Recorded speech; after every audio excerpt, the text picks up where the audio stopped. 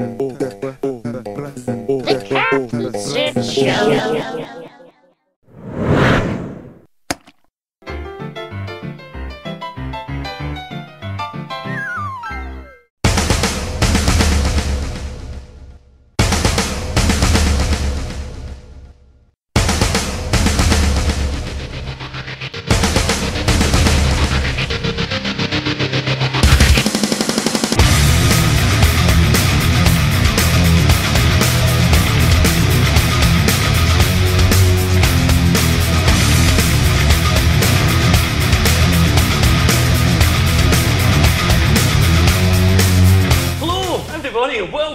And all to Captain Sib TV, and we are here for the very special, gigantium interview with the one, the only, Chris Jericho. Gigantium. That was the word. That's, good. I've been learning that in the car. It's really good. Go in, you know. Yeah, it's nice. How do you spell that? Don't ask. That's for the next show. The- the spelling- Tune in next week and find out how we spell it. Spelling is not the top one, but no, welcome, thank you. How's the tour going? So far, so good. I think this is like um, our seventh show in a row, and uh, Glasgow is always one of our best towns, and we're, uh, always happy to be come back to come back and play here. So it's going to be a good one tonight. Good crowd.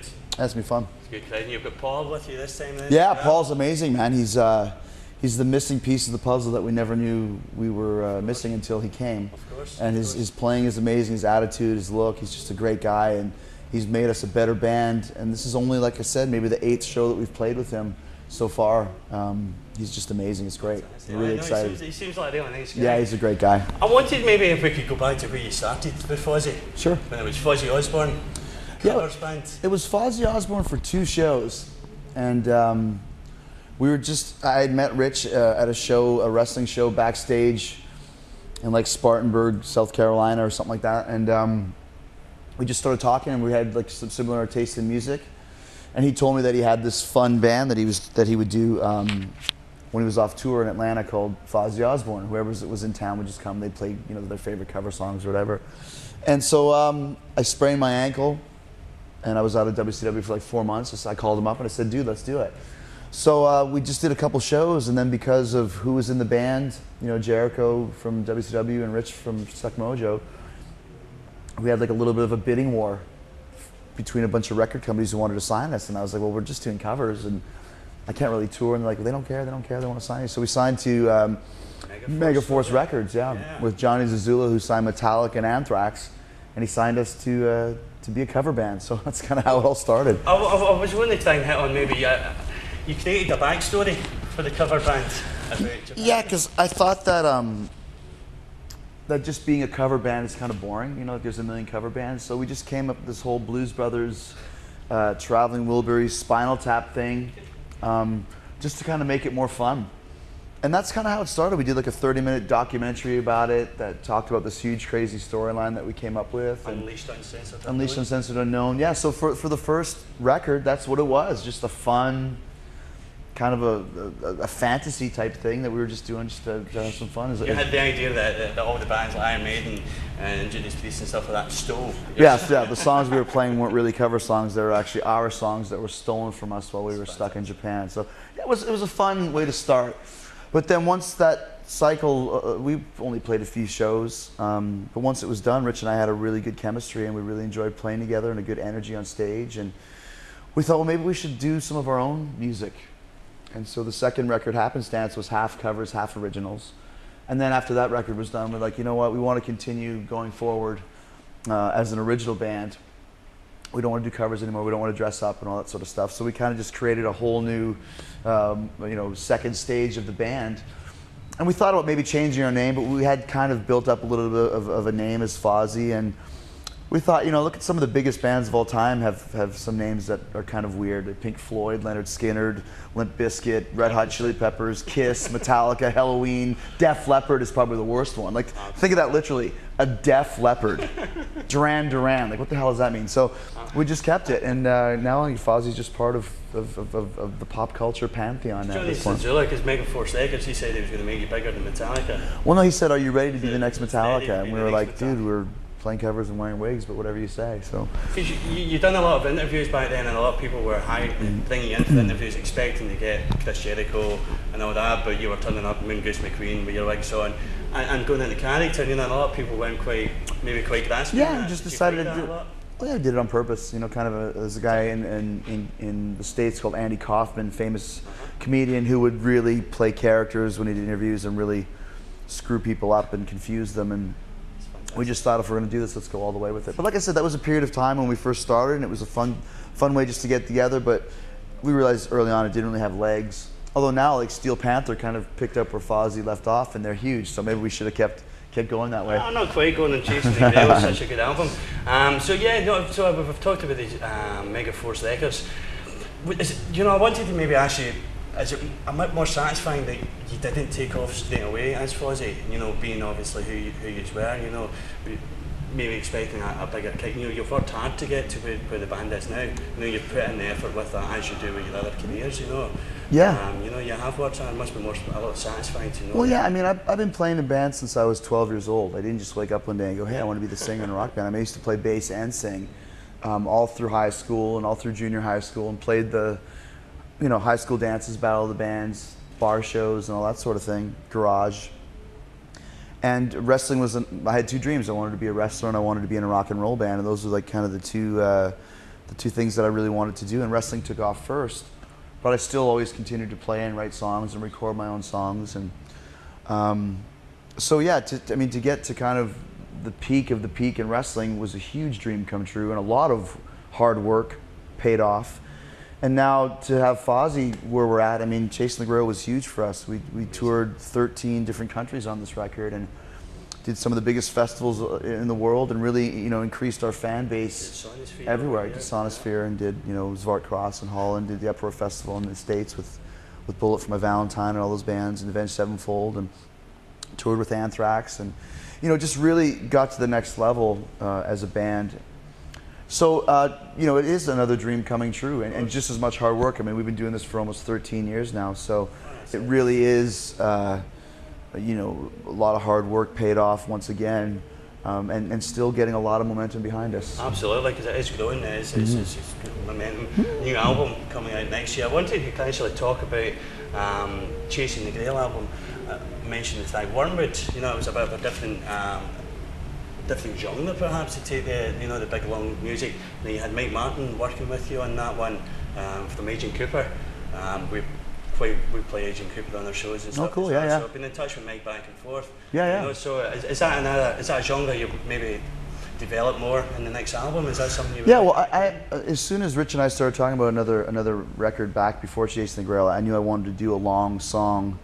Um, I've always been a fan of you know Rhyme of the Ancient Mariner and the Helloween long songs, you know Keeper of the Seven Keys and love Rush, love Dream Theater. So I wanted to have our epic type of song, and we had a couple players, Mike Martin, Sean Delson, that were that type of real shreddy, you know Geddy Lee, Alex Lifeson type guys, John Petrucci type guys.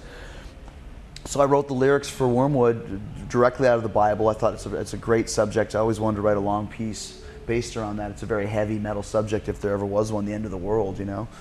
And um, yeah, so so Rich gave that um, gave that assignment to Mike, and he, he did a great job. I mean, it's exactly what Oh, it's what I was looking for. It's a great song. And then Mike subsequently left, and now Sean is gone. But Rich and I are working on another long piece of music that we want it to be more like Rhyme of the Ancient Mariner rather than like 2112. Like more of just based around like a really cool riff and telling. I actually wrote a really long piece uh, about war, uh, about D-Day actually.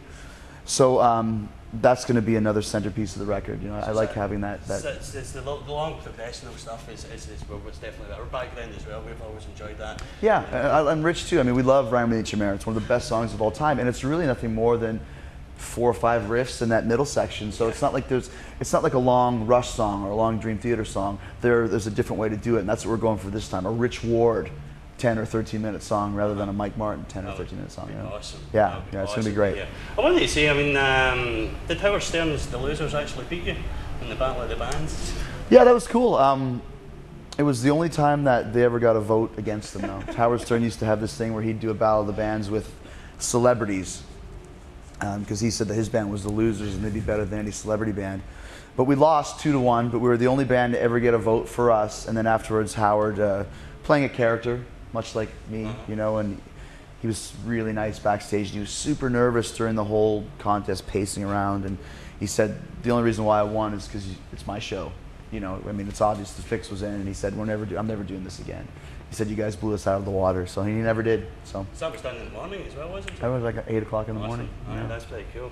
Um, maybe I was. Uh, yeah. That's also the first show we ever did as the new As- as Fozzy, Fozzy, without without the like the, wigs the wigs and the con, uh, you know, the, yeah, yeah, it Oh, was that the, sort of thing. because yeah, so that was kind of the, the beginning of the new era. Aye, that, that's pretty cool. I wondered maybe um, getting towards my, the end of my questions. Have you ever had a moment on stage where you've maybe spinal tapped? You know, you've had a moment where it's just went, oh, Oh, it happens all the time. I mean, even on this tour, the very first night, um, was it the very first night? Or maybe the second or third night, you know, the big build up and the big cheer from the crowd. And I ran on stage and like grabbed the mic and like, are you ready? And then as soon as I start singing, the mic, you know, dies. Uh, so then I go use the spare mic, and then that one dies, and then the inner ear monitors died, and then I was pissed off, so I pushed the mic, and then I broke the mic, which cost like fifteen hundred bucks. You know, like shit like that happens all the time. You just gotta kind of roll with it and not have an Axl Rose temper tantrum. You know what I mean? But um, another time we were in, uh, I think Swansea, by the sea or something. I don't remember where it was. Some some venue that was right by the sea. And there was these two girls in the front row, and they kept looking at me, and they're kind of whispering at each other and kind of like, hee, and I was like, oh, these girls are really yeah. And then they kept pointing at me, but they were pointing down here, right? And I was like, wow, these girls are really like in, into me, you know? They kept pointing and laughing, hee. So finally I looked down, I realized that my zipper was open. So it was like I went from huge rock star hero to just loser with fly, as we call it in the states. Open. That's like that's why that's why a lot of rock stars wear spandex. I guess there's no zippers on spandex. of course. But I mean that happens all the time. You just gotta have a laugh about it. Well, I, I did. Uh, I read a good one in your book where you went sliding off the stage. Yeah, it was a good one too. Sliding off the stage in rainstorms. You know, yeah, of yeah, course. stopped before I went over the edge. You know, um, when Mike Martin joined, the first show, the first show we ever played was uh, filming the En- Enemy video, which was this big production on top of a of a government building in San Diego. And then the second show he played in was at a sports bar in Harrisburg, Pennsylvania, where we couldn't sound check because the high school reunion that was in the sports bar before us hadn't finished yet. So But that's rock and roll, though, isn't it? That, that, Yeah. that's it. That's what you get into. you just got to go with it, That's man. music, exactly. you- Anytime you do something huge, where you start feeling like a rock star, something like that will bust you back down. Something takes you back down. Um, so no, so absolutely. So when, when are we expecting the, the new album? Maybe sometime middle of next year. I June. heard it's into that. You, you've wrote the lyrics and We, we want it in June, yeah, June, that'd be awesome. because we want to come back and do all the festivals over here and Yeah. in Europe next summer. Because Europe gave you a, a good support and they have U- a good yeah, following. man, UK has always been a second home for us, uh, and it has been from the first time we ever came here um, in 2005. And this is our fourth tour on the Chasing the Grail cycle, so um, you know we like we like just you, we have a great fan base here that's always supported us, and we like touring as much as we can, uh, as, as many places in the UK as we can, and that'll never change. Fantastic. Well, I think we're going to wrap it up here for today. One, one last thing I did want to give you, Chris, is you know, I made the video Grail for your, your song out of various clips online. You saw and you, you said, uh, Beware the Soldier Turtle. Um, so we did, um, made you your very own Beware the Soldier Turtle. what was this? Oh, that was the what was the soldier turtle again? That was it. Your, oh, the video had a turtle on it. What the hell was the soldier turtle? Do you know what? I just found that footage. I just found it. He did. He did a. He did a, a video of Grail, and intermixed with like live footage, he had this just kind of roaming around for no apparent reason. So, the soldier turtle. You've now got your very own Soldier That's awesome, man. Is this the only one in existence? This is the only one in existence. Well, that's uh, that's quite an honor. That's that's tremendous, man. Good the good rest, of, the rest of the band have some. Uh, good quality shirt uh, material. the rest of the band Smells got some, nice. Some tea bags. Uh, Come on, we all like teabagging. pancakes, some oat cakes, and Wow, pre-made pancakes. Wow, shortbread. Wow, I get shortbread too. So there you go. Looks like I've got um, my rider for the next three days. Thank you, everybody, for watching. All Thank right. you very much, Chris Jericho for Fozzy. Your tea bread, your, your, your tea, your oat cakes, your shirt. Absolutely fantastic. It's Been a great interview. Great meeting you. Thank you very much. We'll see you all soon. Oh, Sid Show.